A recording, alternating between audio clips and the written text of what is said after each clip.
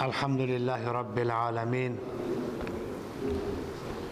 والصلاة والسلام على أشرف الأنبياء والمرسلين حبيبنا وحبيب إله العالمين الذي سمي في السماء بأحمد وفي الأرض بأبي القاسم محمد.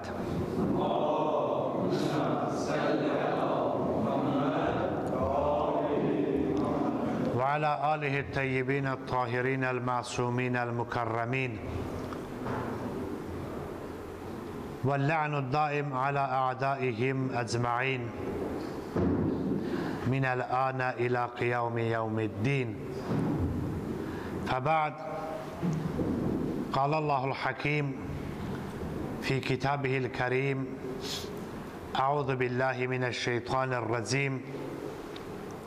بسم الله الرحمن الرحيم. يا أيها الذين آمنوا لا تأكلوا الربا أضعافا مضاعفة واتقوا الله لعلكم تفلحون. صدق الله العلي العظيم. Okuduğum mübarək ayə-i şərifə mühüm bir məsələni əhatə eləyir ki, Allah subhanahu və teala bu mübarək ayədə və bu mövzuda olan 7-8 ayədə Quranda bir xoşa gəlməz əməli bəyan edir və həmin əməldən insanların çəkinməyini tələb edir və həmin əməlin günah olmasını və o günahı edənlərin qiyamət günü cəza ilə cəzalandıracağını insanlara xəbər verir. Həmin məsələ ibarətdir ribadan. Riba bir məsələyə deyirlər ki, əsl kəlməsinin tərcüməsi bir içi boş hava, yəni boş bir şeyə deyərlər və yaxud istilahi olaraq riba ibarətdir iki hissədən. Bir hissəsi riba alverdədir, bir şeyi alıb satandadır. İkinci cür riba isə borcdadır ki, borc verəndə necə riba olur. Bizim zamanədə, ətrafımızda riba kəlməsinə bəzən yerli cəmaat müamilə deyir, amma müamilə alverdir, riba demək deyil. Müamilə, yəni ümumi alverə deyərlər ərəb dilində. Ribaya faiz, faizlə alver eləmək deyirlər, faizlə borc vermək deyirlər ki, bu da böyük günahlardan biri sayılır. Riba həm almaq, yəni götürmək, həm riba vermək haramdır. Düzdür ki, bəzən riba faizlə pul götürmək halal olur məcburiyyət qarşısında, zərurətdə. Məsələn, bir adamın işi keçmir, xəstəsi var və bunun pula ehtiyacı var, xəstəsi əməliyyat olunacaq, buna borc verən yoxdur. Halal bir nəfər borc verər ki, capar, üşüvü gör, sonra qazanarsan, aldığın qədər qaytararsan, bunu eləyən yoxdur. Bu adam naçar qalır, məcbur olur, gedir bir adama ki, o pulu verəcək ona və üstündə qaytaranda əlavə alacaq, ağız açır. Bu məcburdur. Belə halətlərdə icazə var və yaxud bir nəfər bank ilə, bank söhbətimiz də ayrıca olunacaq. Mən ona indi qısa toxunuram ki, məcbur olur oradan götürür işinin xatirinə ki, keçmir işi. Qaytaranda da faizdən verəcək. Buna da bəzi şərtlərlə icazə verilir ki, bu söhbətimiz ayrı zamanın vaxtına aid olacaq. Amma riba ilə pul kiməsə verməkdə bir güzəşt yoxdur, bir zərurət yoxdur ki, deyəsən, bəli, buna bəzən icazə verilir, eybi yoxdur, ver, üstündə faiz alarsan, buna yol yoxdur. Hər kəs bir nəfərə borc verirsə və üstəgəl alanda artıq alırsa, bu haramdır. Bunun bu borc verməyi və yaxud alveri batildir.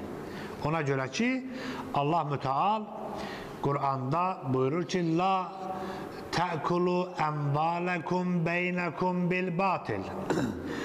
Mallarınızı batil yerə, səhv yerə biriniz digərinizin malını alıb yeməyin. Bu ki buna borc verdi, qaytaranda artıq aldı, bu artıq nə alveri sayıla bilər? Nə borcda belə bir məsələ var? Çünki borc verməyin şərti şəriətdə belədir. Borc verəndə, keçən söhbətimdə işarə elədim. Allah buyurur ki, orada yazın və şahid gətirin. Sabah siz problemlə üzbəyiz olmayasınız.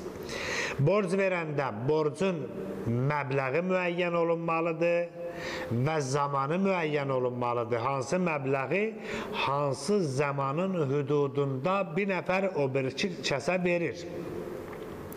Və bu zaman ki, bir insan başqasına ki, borc verir, məsələn, bir ay bir nəfər 100 manatı birindən borc alır. Həmin bir ay ərzində o pulun yəsi ki, borc vermişdi, o pul onun malikiyyətindən, mülkündən çıxmış olur, xaric olur həmin bir ay ərzində məsələn artıq bu 100 manatın maliki olur o borcu götürən. Yəni mülkiyyətdə fərq olunur. Bu bir ay ərzində mülkiyyətin sahibi hesab olunur o pulu borc götürən. Ona görə ki, ay tamam olmamış biri gəlib onu istəyə bilməz ki tələb edə bilməz. Çünki bunun sahibi budur. Bir aylıq götürüb bir ay tamam olandan sonra mülkiyyət dəyişəcək yenidən bu adam dərhal bunu qaytarmalıdır. Və bir adam ki, bir mülkün, bir pulun sahibi olursa, bir müəyyən zaman həddində, özdə ən təravim minkum razılıq səviyyəsində. İki tərəfində razılıq olub. İndi bu qaytaranda ki, həmin zaman çatdı, bu pulun sahibi artıq o pul yəsi idi ki, vermişdi, oldu. İndi bu pul yəsi ki, bu pulun tələb eləyib alıb o zaman gələndə başqasının qazancına şərik ola bilər? Yox, əsla. Nə üçün deyə bilər mənə artıq ver? Şərik ola bilməz. Bir nəfər başqasının qazancına o zaman şərik ola bilər ki, aralarında ya şirkət, ya müzarəbə, ya başqa bir əqd olsun. Müzarəbə mövzusu ayrı vaxtda olacaq. Şirkət bəhsi də müzaribədə söhbətimdən toxunacağam. Qısaca olaraq budur ki, pul birindən Əmək başqasından, zəhmət başqasından. Bir nəfərin pulu var, deyirsən gəl bu pulu mən işləyə bilmirəm. İşdə qazanca şərikün ya bu qədər qazancından mənə verəcəksən. Bu ayrıdır, bu borc deyil. Bu müzaribədir. Amma borcda, qardda, qard ərəb dilində yəni kəsmək deməkdir. Qayçiyə ərəblər miqrat deyirlər. Yəni bu pul daha kəsildi oldu sənin. Daha mən tələb eləyə bilmərəm həmin müddət ərzində səndən.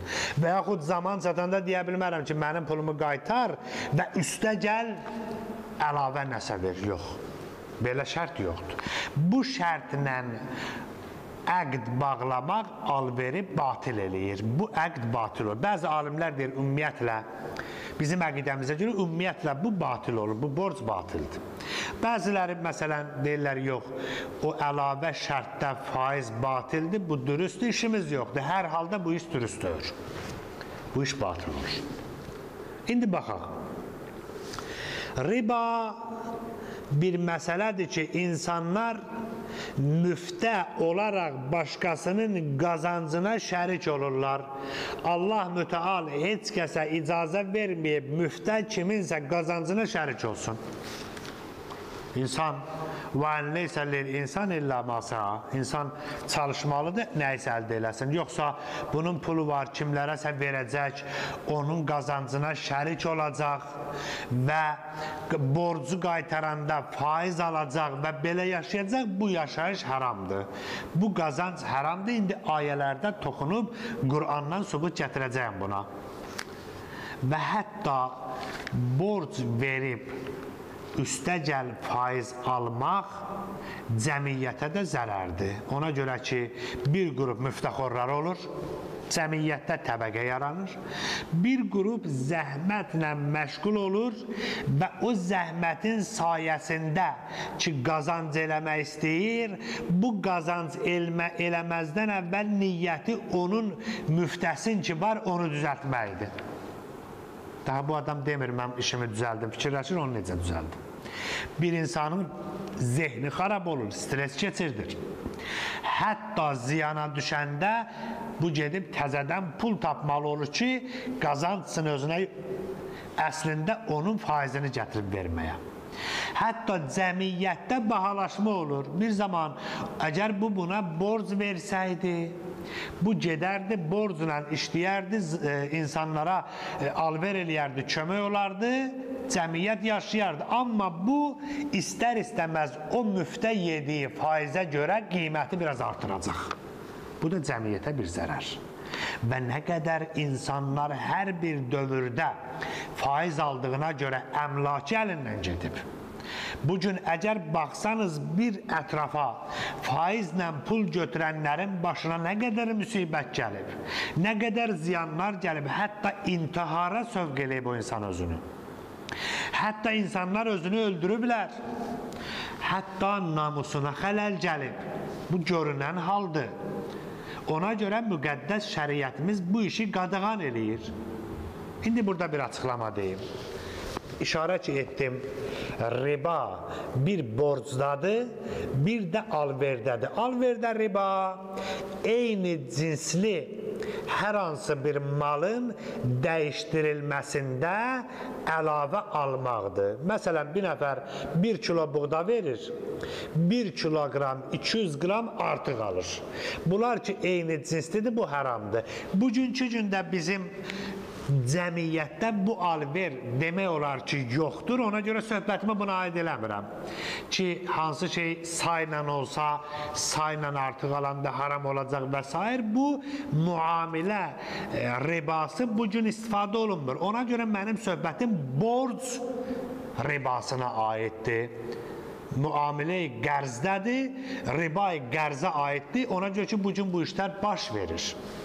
Baxaq, Allah təbarək və teala riba məsələsini tədricən insanlara qadağan elədi. Hər bir məsələ tədricən oldu. Məsələn, içki qadağan olunması tədricən oldu. Bir zaman ayə nazil oldu ki, Ay cəmahat, la təqrabus salah və entum sukara namaza yaxınlaşmayın bir halda ki, siz məstsiz. Hətta o zamana qədər ki, dediyinizi başa düşürsünüz. Quran ayəsidir. Yəni, Peyğəmbər vəhi nazil oldu, insanlar müsəlman oldu, indi namaz vacib olub, bəziləri hələ təzə dinə gəlib, içkinin, spirtli içkinin o dövrə aiddir, ha, indi yox haram olmasını bilmir. Da birdən-birə bütün qadağalar olmadı. Qadağalar 23 il müddətinə tədricən baş verdi. Cəmiyyət din 23 il müddətinə təkmilləşdi və ondan sonra ayə nazil oldu ki, Əl-yevmə əkməltu ləkum dinəkum. Bu gün sizin dininiz kamil oldu. Birdən-birə olmadı. Bir dəfə nazil oldu ki, məst halında namaza yaxınlaşmayın. Bir halda ki, siz dediyinizi başa düşürsünüz, ayılıbsız onda gəlin. Bir qrup o işdən əl götürdülər. Dedilər, o məsələ ki, bizi namazdan saxlayırsa, Peyğəmbərin ətrafında olmaqdan saxlayırsa, biz bunu niyə eləyək? Əl çəkdilər. İkinci bir ayə nazil oldu. Yəsəlunəkə anil xəmri vəl məysir Qul fihima ithmun kabir və mənafi'u linnas. Səndən ya Rasulallah soruşacaqlar ayədir. İçki və qumar haqqında onlara de ki, bunlar İsmun kəbir, böyük günahdır. Günahdır bu iş. Və mənafi'u linnas. Amma insanlar üçün mənfəət də var bunda. Biri içkini düzəldər, satar, mənfəət qazanar. O dövrə aiddir ha. Biri içər, vaxtın yaxşı keçirdər, mənfəətdir. Biri qumar oynayar, udar, mənfəət götürər. Və mənafi'u linnas. İnsanlar üçün mənfəət var. Amma bəl ismuhuma akbaru min nafihima. Amma bunun günahı, zərəri onun xeyrindən çoxdur. Ya Peyğəmbər, belə də cavab ver bunlara. Yəni, o qumarda udan bir gün əmlakin uduzacaq əlindən gecə məhv olacaq. o içkiyə aluda olan əqlin əlindən verəcək, onun abrusu gedəcək, hətta içki içən bağışlayın məni, o halətə özün salacaq, problem yarananda evinə qeyrətsiz biri girəndə o namusunu qoruya bilməyəcək. Çünki məsti yatıb bəl ismuhuma əkbəru min nəfihima onun zərəri, ziyanı, günahı xeyrindən çoxdur. Bir qrup da bunda ayrıldı. Dedi da bir şey ki, bizə zərəri çox olar. Ya Rasulullah, biz bunu eləmirik. Üçüncü mərhələdə İnnəməl xəmr vəl məysir vəl ənsab vəl əzlam ridsun min əməli şeytan fəstənibuhu bir ayə nazil oldu ki, həqiqətən quma, içki, qumar, o qumarın növləri var, ox atmaqla filanla o dövrdə. Ridsun, mundar işdir. Yəni, mənəvi mundarçılığı var bunun. İnsanın mənəviyyatını çişləndirər.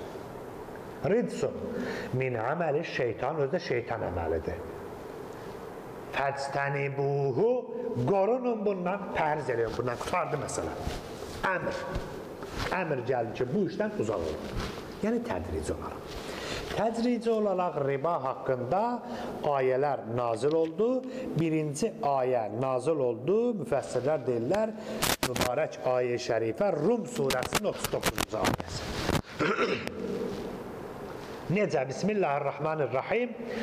Mə ateytum min riban liyərbuva fi ənvalin nas. Buyurur ki, Başa düşdüyümüz məna belədir. Yəni, siz ki, riba pul götür, verirsiniz, o riba götürürsünüz, insanların malından götürürsünüz ki, sizin malınız çox olsun. Riba verənlərə nazil olma birinci dəfə. O dövrdə bu qədim məsələdir riba, faiz alveri. Hətta Peyğəmbərin dövründə Ərəbistan yarımadasında da var idi. Ayə nazil oldu ki, Aydan Sizlər ki, ribaya verib faiz götürürsünüz, istəyirsiniz sizin sərmayəniz artsın. Bunu istəyirsiniz də pulunuz artsın. Amma nədir? Və la yərbu indəllah və ma əntum buyurur ki, amma sizin Allah yanında bir şeyiniz artmayacaq. Hələ bu əxlaqi keyfiyyətdir. Taala istəyir əxlaqi qaydada insanlara öyrətsin. Birinci dəfə ayə nazil olur. Buyurur ki, ay cəmaat, ay riba verənlər, ay riba pul götürənlər, siz ki istəyirsiniz bu hərəkətinizlə sizin malınız artsın, malınız sizin Allah yolunda bir şey artmayacaq. Allah yanında sizin bir məqamınız, malınız, sərvətiniz, düşəniz, təqvanız artmayacaq. Bəs nə olacaq? Və mə ətəytum min zəkatin sizin, yəni o yaxşılığınız artmayacaq. O yaxşı əməliniz, o zəkat verməklə ki, artırır, artırırsınız. İnsan bir var sədəqə verməklə artırır. Amma siz riba ilə, faizlə artırmayacaqsınız. Turidunə vəcəllah Yəni o ki, siz Allah yolunda fi səbilillah verirsiniz sədəqə, onun kimi bu artmayacaq. Sədəqə versəz Allah yolunda, onda siz artırarsınız. Başqa sözdən bərəkətiniz də çox olar, Allah huzurunda savabınız çox olar. Fəulaikə humul mud'ifun. Amma o kəslər ki, onlar istəyirlər artırsınlar, fayda götürsünlər, ribanın onlar itirəcəklər, əslində artırmayacaqlar, azaldacaqlar. Bu bir əxlaqi keyfiyyət. Quranda Allah Teala bu ayə nazillədi. Bir qrup insan gördü ki, bu məsləhət deyil, bu işdən əl çəkdi. İkinci bir ayə bir zaman sonra yenə də Həzrət Peyğəmbərimiz sallallahu aleyhi və alihi və səlləmə nazil oldu.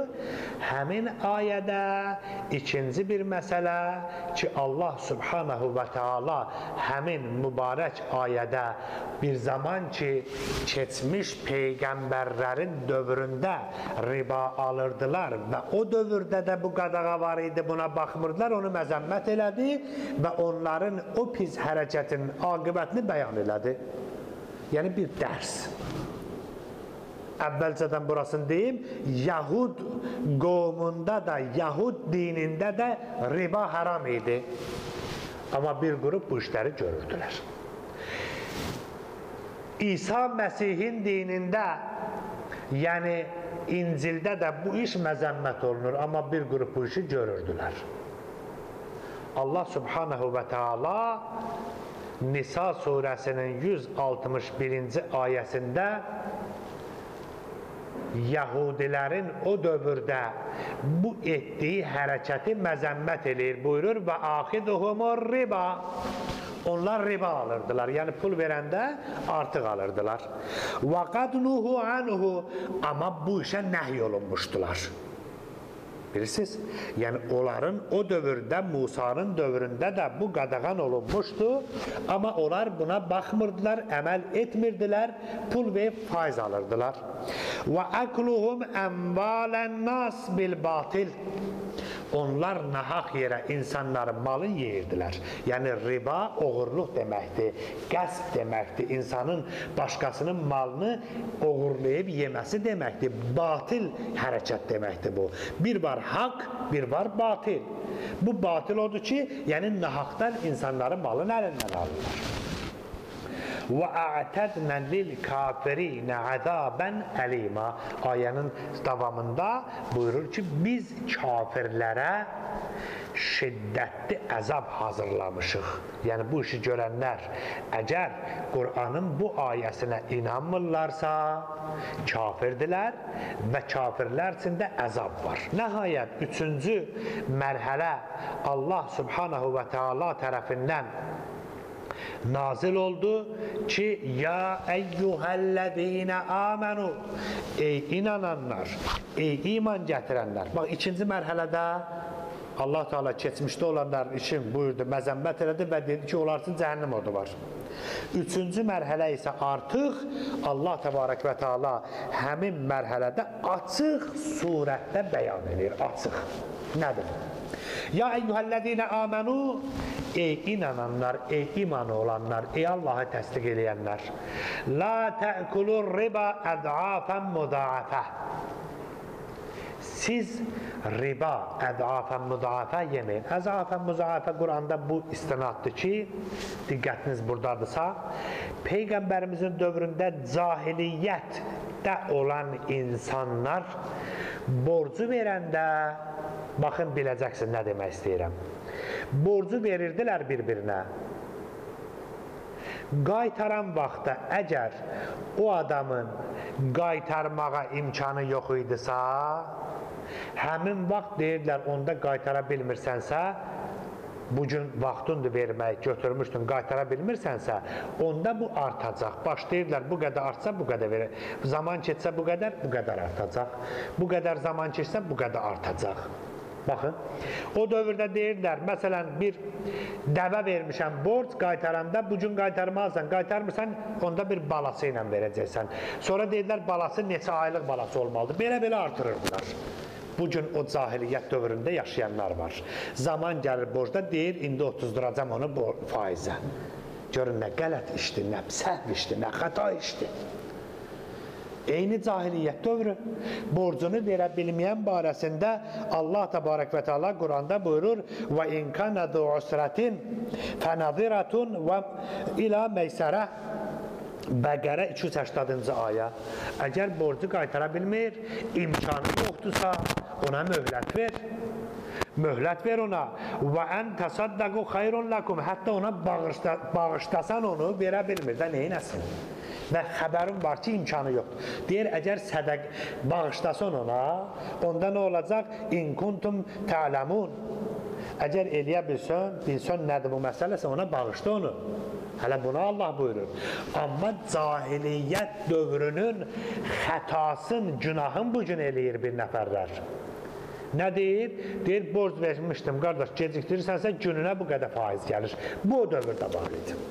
Ya əyyuhəllədinə amənu Ey imanı olanlar, Ali İmran surəsinin 130, 121-ci ayəsi ya 130 121-ci ayəsi.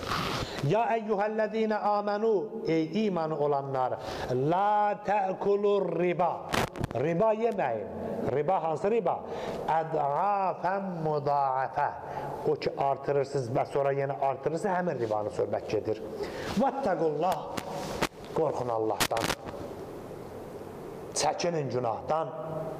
Allahın əzabından qorxun. Vattaqullah. Ləalləkum tuflihun ki, şayət siz qorxasınız Allahdan, bu işi görməyəsiniz, onda xoşbəxt olarsınız. Əgər Allahdan qorxmursunuz, onda bu işi eləyərsiniz. Bu açıq ayədir. Vattaqullah. Və buyurur 130, 131-ci ayəsində Yenə o ayədən sonraki ayədə Vattaqun narəlləti Qorxun o oddan ki, yəni eləsəz cəhənnəm odu var ha sizə. Vattaqun narəlləti Qorxun o oddan, o cəhənnəm əzabından ki, əlləti uiddət lil kafirin. Həmin od kafirlər üçün amadə olub, hazır olub. Yəni belə düşünülür ki, bizim kimi zəif adamlar belə düşünürük ki, əgər bir adam bu ayənin əksinə getsə, kafir olacaq. Çünki ayəni inkar etmək irtidaddır, mürtədd olmaqdır və kafir olandan sonra onun üçün cəhənnəm əzabı hazırlanıb, var onun üçün. Üçüncü mərhələ belə bir ayədir ki, siz bu işdən çəkinin, eləməyin bu işi. Görün riba nə qədər pis işdir. Nəhayət, dördüncü mərhələdə Allah subhanahu və teala Bəqərə surəsində bir neçə ayə nazil edib ki, ibarətdir. Həmin ayələr ki, 276, 77, 277, 278, 279 280 təqribən bu ayələr sıra ilə Bəqərə surəsində həmin mənanı ifadə edir. Nədir o? Axırıncı bəyanatdır Allah Taala tərəfindən ki, bunu bizə tapşırdı. Əllədini yakulunə riba O kəslər ki, riba yeyirlər La yakumunə illə kəma yakumul-ləzinə yətəxəbbətəhu şeytan minəl məs O kəslər ki, faiz götürür, alırlar, yeyirlər, pulu borc verirlər, üstündə faiz alırlar, yeyirlər. Allah subhanahu və teala buyurur, o kəslərə elə bil şeytan vəsvəsə eləyib, şeytan toxunub onlara, onlar məst olublar, ayaq üstə diyana bilmirlər. Bu ayənin təfsirinə diqqət yetirsək, biri budur ki, insanlar qiyamət günü bu riba ki yediyinə görə ayaq üstə qalxa bilməyəcəklər və qalxıb yıxılacaqlar. Qalxıb hətta ixtiyarı olmayacaq ki, bir ayaq üstə dursun. O qədər əzab. Buna dəlil olaraq bir rivayətdə İmam Sadiq əleyhissalam peyğəmbərdən rivayət eləyir. Həzrət peyğəmbər göy aləminə gedəndə, yəni meraca gedəndə, başqa aləmlərə gedəndə gördü bir qrup insanlar var. Əzaba giriftardılar. Onlar istəyirlər qalxsınlar ayağa, qalxa bilmirlər, dəyirlər yerə. Qalxırlar ayağa, dəyirlər yerə. Əzabdadılar. Ay Cəbrəil, bunlar kimdilər? Bu əzaba giriftar olublar. Cəbrəil ərz elədi, ya Rasulallah, bunlar o kəslərdilər ki, qiyamət, o kəslərdilər ki, dünyada pul vermişdilər, mal vermişdilər, üstündə riba alıb yemişdilər.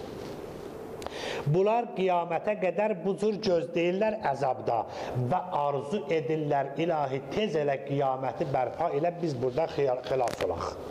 Bəzi adamlar var, bəzi tutulublar, hələ işgəncədədirlər. Deyirlər ki, tez olsun, gedim zindana düşüm, bu işgəncədən azad olum. Eləcə də bəzi insanlar aləmi bərzəxdə elə giriftar olublar, elə çətinlikdənlər deyirlər, çaş qiyamət ola, hesab kitab ola, ondan sonra cəhənnəmə gedən, bəlkə cəhənnəmdə bir xilas olan bu əzabdan. yəni belə çətin əzaba giriftar olublar. Allah təbarək və teala bu ayədə buyurur ki, o kəslər ki, riba pul qazanıb yeyiblər, onlara şeytan təması var və onlar məst olublar, əyə dura bilmirlər. Bəzi müfəssirlər deyir, onlar qudurublar, yəni öz dilimiz.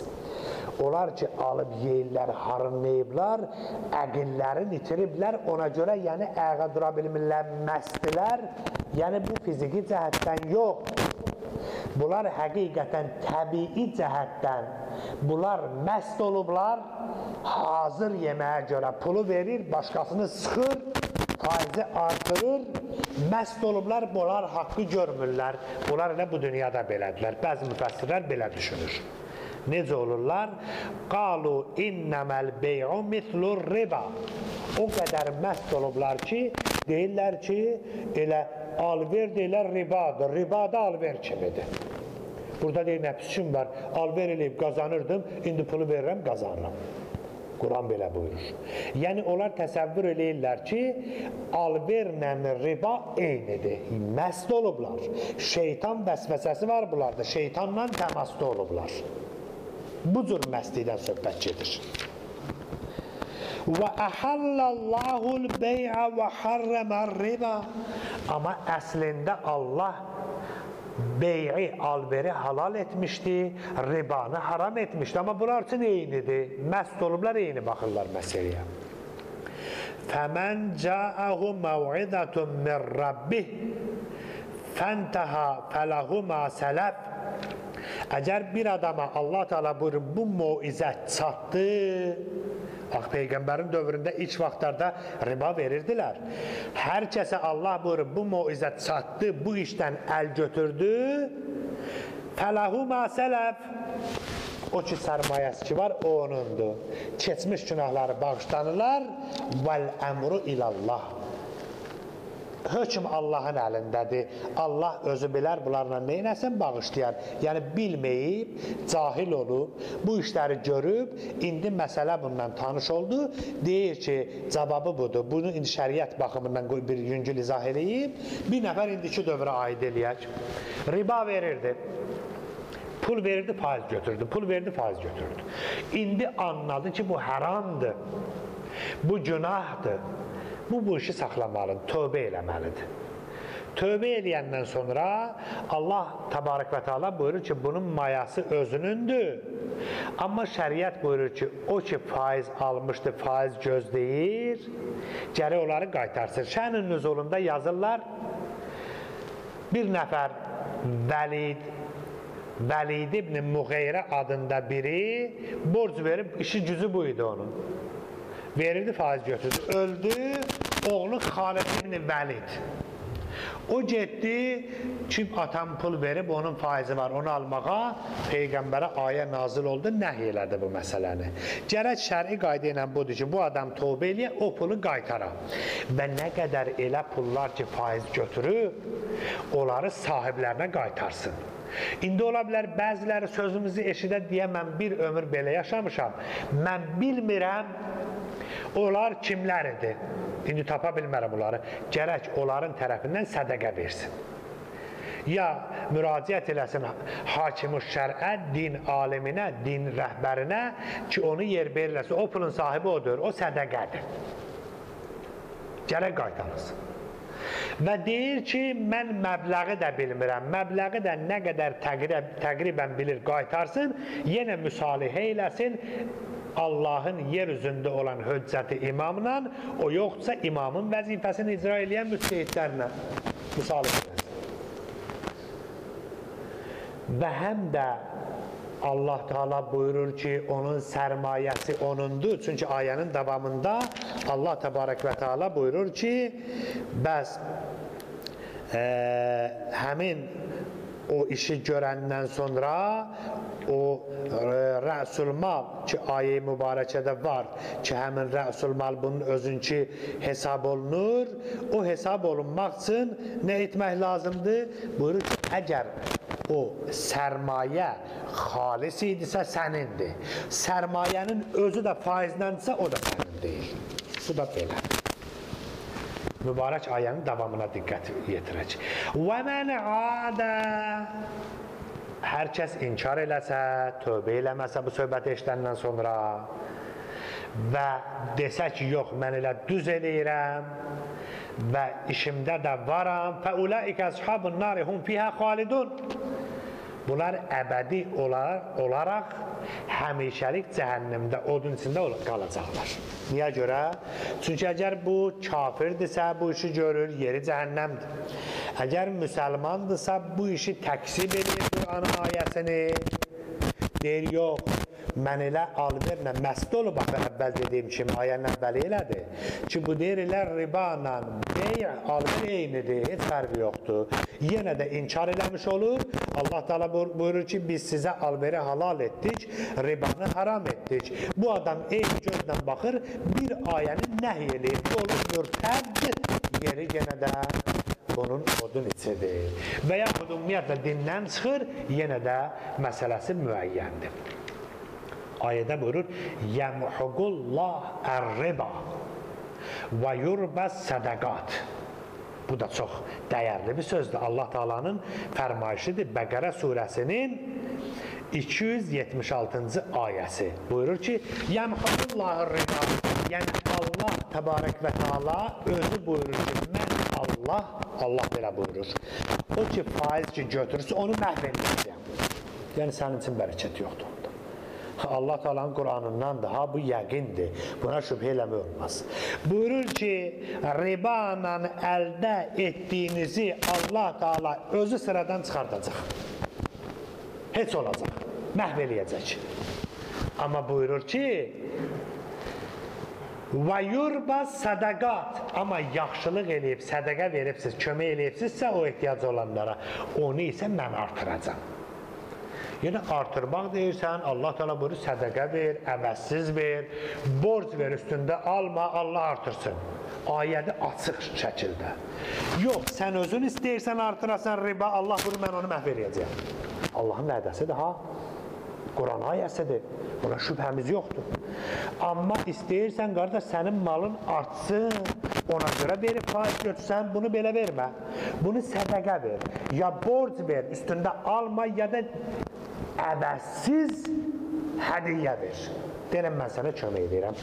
Nədir? Allah vədə verir, söz verir sənə və yurbəs sədəqat. Vallahu la yuhibbu kullə kəffarin ətim. Allah Teala günah eləyənləri, o pis iş görənləri bir Allahın verdiyi nemətlərə kufran edənləri bəlkə bu mənadadır. Sevməz, Sən niyə bu işi görürsən? Sən get yaxşı iş gör, artırmaq deyir, mənlikdir. Bəs bu da bir ayədir. Və ondan sonraki ayədə buyurur ki, "Lahum ecrun ində rabbihim və la xawfun alayhim və la hum yahsanun" 277-ci ayə. Onlar üçün, yəni o kəslər ki, onlar yaxşılıqlar edə, faiz götürməyə, insanlara kömək eləyə, əcruhum ində rabbihim Allah yanında onların əvəzi var. Əcr bir şeyin qiymətidir. Ucra onun əvəzidir. Yəni sən əvəz istəyirdin də faiz götürdün, onu eləmə. Allah yolunda elə, əvəzi Allahdadır. Allah Teala'dan əvəz alacaqsan. Özü də vəla xavf aleyhim. Onlar üçün qorxu yoxdur. Nədir? Deyir ki, qorxaram, malım əlimdən gedər, ac qalaram. Qorxma. Və ləhum yaxsanun və onlar üçün qəm-qüssə də yoxdur. Bir qəm-qüssə var, itirdim, mən nə edəcəyəm? Bir də var ki, sabah nə edərəm? Birdən nə edərəm? Keçmişə bir var, adam narahat ola, heyf əlimdən getdi. Bir də var, sabah mən nə edərəm? Allah Teala hər ikisini buyurur. Nə keçmişə narahat ol, nə gələcəyə. Sən Allah yolunda et, yolunda et və onun əcri, əvəzi, qiyməti artırmağı Allah buyurur mənim yanımda. Nəhayət, Allah təbarək və teala yenə 200 78-ci ayədə buyurur: "Ya eyyuhellezine amenu" Ey imanı olanlar, ittaqullah Qorxun Allahdan, qorxun Allahın əzabından, günahdan uzaq olun, Allahın əmrlərinə tabi olun. Və zaru ma baqiya minər riba in kuntum mu'minin. O ki, riba götürübsüz, onu qəbul eləməyin, qaytarın, verin yəsinə, əgər imanınız varsa. Baxın, in kuntum mu'minin bu, bu deməkdir ki, ribanı həram edir Allah təbarək və teala. Çünki iman furuqiddin, yəni Allah təbarək və teala iman etiqaddır. İmanı sübut etmək üçün gərək üsulüddündən sonra furuqiddinə əməl edəsən. Yəni şəriətə əməl edəsən. Hökm.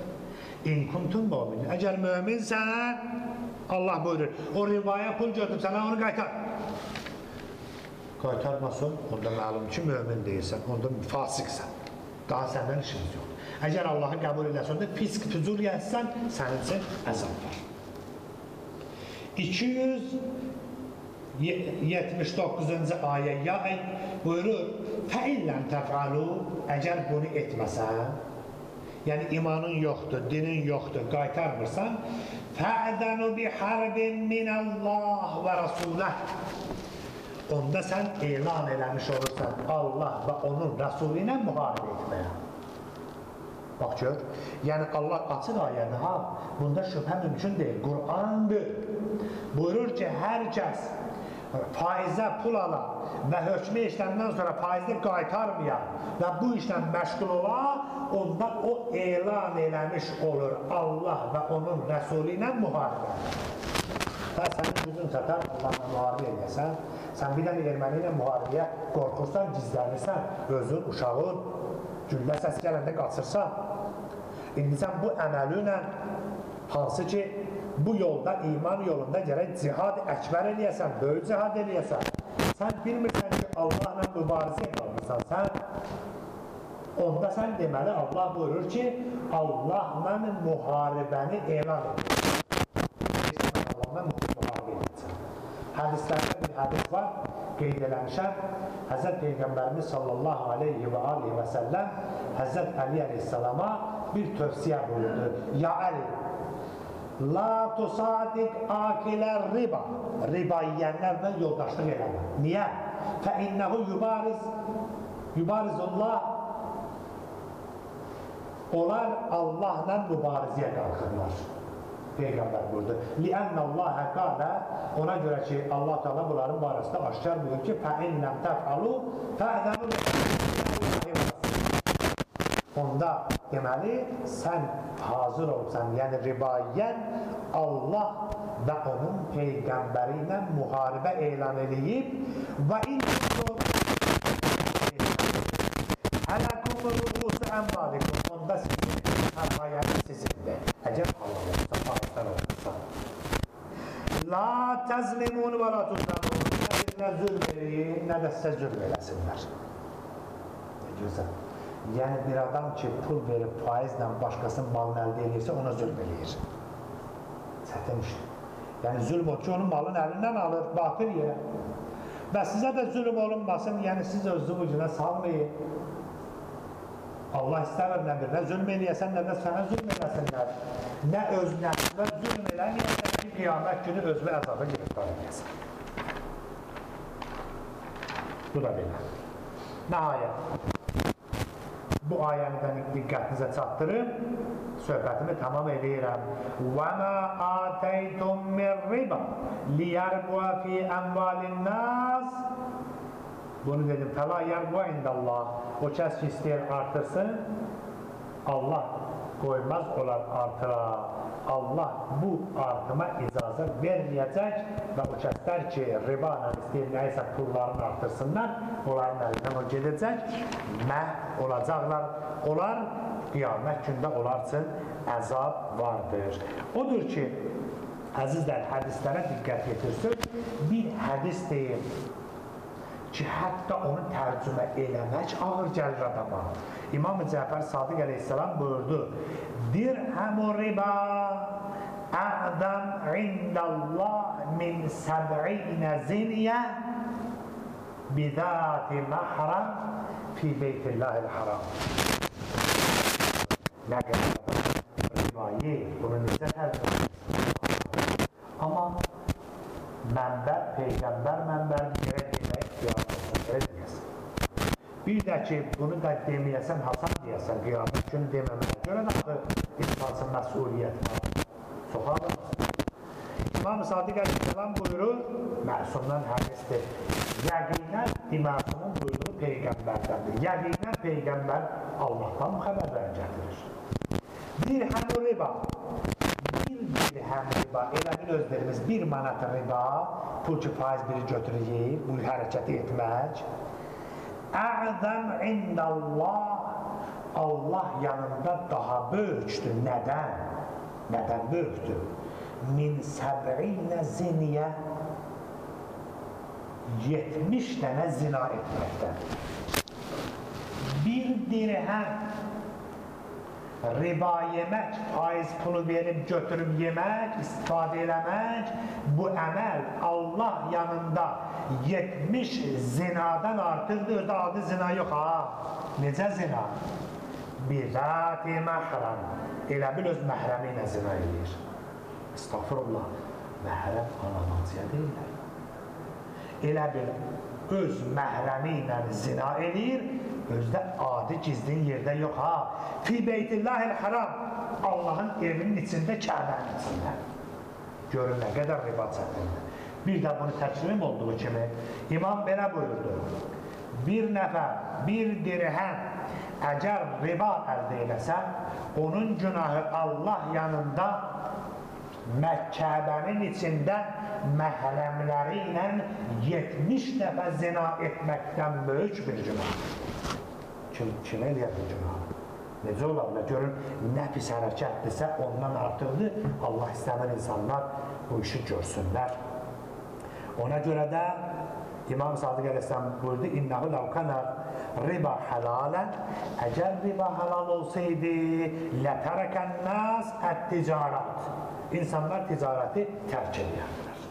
Allah istəyir, sənin sərmayon var, get, qur, tic, yarar, insanlar çalışsınlar, qazansınlar, ailələr dolansınlar, sən də artır. Bu ticarətdir. Al, sat, istehsal olunsun, Bu yaxşı əməldir. İmam buyurur ki, əgər riba halal olsaydı, ticarət dayanardı. Elə hamı deyərdi da, sərmayəm var, verin, pulumu götürün. Ona görə haram oldu ki, ticarət dayanmasın. Və mə yaxtacunə iləkdə deyərlər, onda ticarətə ehtiyacınız yoxdur. Fəhərrəməllahu riba Allah Teala ribanı haram etdi liyəfirrən nas minəl haram iləl haram insanlar haramdan qaçsınlar halala və ilə ticarat ticarətə tərəf getsinlər əksinlər, becərsinlər istehsal eləsinlər, zavod qursunlar fabrik qursunlar, cəmiyyət dolansın və iləl bey və şəra biri satsın, biri alsın fəyəbqə dalik beynəhum filqar və yaxud insanlar borc versinlər, səmimiyyət olsun insanlar arasında. Əzizlər, nəhayət sözüm budur, cəmiyyətdə faizlə pul vermək bir odur ki, insanlar arasında ehtiramı götürər, hörməti aparır. Qardaş qardaşa pul verər, ondan artıq götürər. Dost dosta bu işi görəndə daha hörmətli. Bir var biri deyər ki, borc ver mənə, deyər, hə, cala borc yenə qay, səmimi olar bu iş. Düzdür, borc almaq özü məkruh əməldir, çünki insan narahatçılıq keçirir. Amma halal işdir. Amma birdən biri ancaq bir cəmiyyətdə yalnız faizlə borc verir, borc götürür bu cəmiyyətdə daha səmimiyyətdən, ixlasdan, dostluqdan, qardaşlıqdan söh söhbət gedə bilməz, insanlar daha fəqirə kömək eləməz, hər şey maddiyyat üzərində qurlar. Heç bir adam birinə sədəqə də verməz. Elə gözləyər, verin, bunun faizi nə qədər? Beyinlər belə işləyər. Çünki şeytanla təmasda olub məstdir beyinlər. Və həmin cəmiyyət nəhayət sıradan çıxar, cəmiyyətdə iqtisadiyyət dayanar, Böyük sərmayəsi olanlar ancaq faiz verərlər, bir qrup faiz alar, uduzar, ailəsi dağılar, evi gedər əlindən, bir qrup şər o faizin hesabına istehsal dayanar, cəmiyyətdə işsizlik əmələ gələr, bağçılıq. Cəmiyyət sınırmaz, faizə görə. Və bununla belə fəqirlik artar və nəhayət bu işin nə ağıl qəbul edir, nə də şəriət. Əzizlər, belə işlərdən ümumiyyətlə görə hamımız uzaq olar, amma bir istisna deyim sizə söhbətimi xətm edir. İstisna budur. Əgər bir nəfər insan birindən borc alır, işi vardı, gəldi, qardaş mənə borc ver, bir aylıq, iki aylıq məsələn, müəyyən olub zamanı da və məbləğdə. Bu borcu alıb gedib, bu borc pulla iş görür, qazanırsa, qazanırsa, onda yaxşı olar ki, qazancından gətirsin bir miqdar, versin o pul yersinə. Birdən bir deyirlər, bu elə riba adda faiz oluyor. Faiz olanda şərt olur ki, sən bu pulu aparsan, mənə bu qədər gətirəcəksən. Yox, şərt yox. Borc verir, o pulları yer durur. Amma yaxşı olar ki, bir insan ki bir şey qazandı, o qazancından gətirsin, biraz buna versin. Bu yaxşı iş olar. Nəyə görə? Nisa surəsinin 86-cı ayəsində Allah təbarək və teala belə buyurur. İdə huyyitum bi tahiyyətin fəhayyu bi əhsənə minhə avradduha. Buyur, bir nəfər ki, sənə bir yaxşılıq elədi, sən bu yaxşılıqdan biraz da artığını elə. O sənə yaxşılıq elədi, pul verdi, sən qazanc eləsən bir də biraz ana bir şey ver. Bu haramdır, bu haram deyil. Çünki bunu, bunu nə səndən o gözləyirdi, nə də şərt qoymuşdu. Sən könüllü olaraq bir şey verdin. Bunu bir adam könüllü istəsə, eləsə, bu halaldır. İlahi Rəbbim bizə halal və minnətsiz ruzu nəsib. Özümüzün, valideynlərimizin günahlarımızı bağışla. Aqibətimizi xeyr elə. Bizi dünya və axirət Peyğəmbər və ali Peyğəmbərdən ayırma. Özümüzdən və nəslimizdən onlara düşmən qərar vermə. Xalqımıza, ölkəmizə, millətimizə xeyr və bərəkət ver. Düşmənlərimizi zəlil elə. Millətimizsin, xalqımızsın, dinimizsin, çalışanları salamat elə. Vəssalamu aleykum və rəhmətullah və sallallahu ala Muhammedin və alihi tahirin. Allah